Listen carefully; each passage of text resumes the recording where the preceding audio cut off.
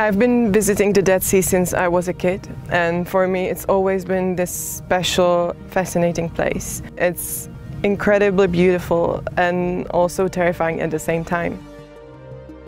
My name is Barbora. I am a commercial photography student at UAL and I'm doing a project here at the Dead Sea in collaboration with Capture One. I'm working on a project I call SALT. It's revolving around the issue of climate change, rising temperatures, planet overheating. It's really salty here, it's humid, the temperatures are high, so iPad is the perfect instrument to bring on set. I found a London-based jewelry designer, Hollie Paxton, and I immediately knew I wanted to include her jewelry in my project. Look at the camera and maybe close your eyes now. Oh, I love this one. I'm trying to create this dystopian apocalyptic vibe in my images.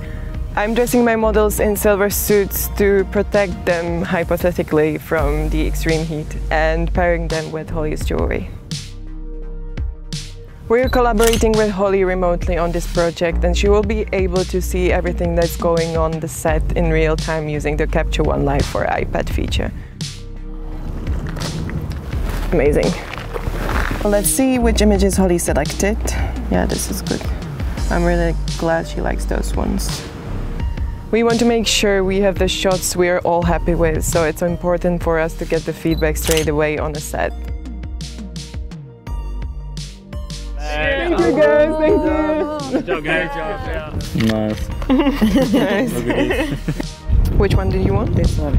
This one? Yeah. Did you get it? Yeah. Amazing. I think the shoot went really well. I think we've created something really unique today.